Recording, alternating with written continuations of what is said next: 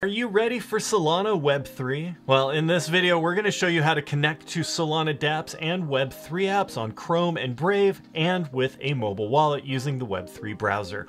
The Solana Web 3 ecosystem is thriving and highly active, offering a diverse range of dApps and Web 3 applications, including those focused on NFTs, meme coins, and beyond. Among the most popular Solana Web 3 apps are STEPN and Chingari for health and social social interactions, Star Atlas for gaming, and Jupiter for DeFi. You can use Exodus in your Chrome or Brave web browser or your mobile phone to connect to Solana Web3 dApps. Now, if you don't have an Exodus wallet yet, click the link in the top right to download or visit exodus.com. Connect to Solana Web3 apps with the Web3 browser in your Exodus mobile app. First, tap the profile icon, then tap Web3. Once there, tap Explore to browse through a short list of curated Web3 apps. You can also search and filter by the Solana network with the network filter.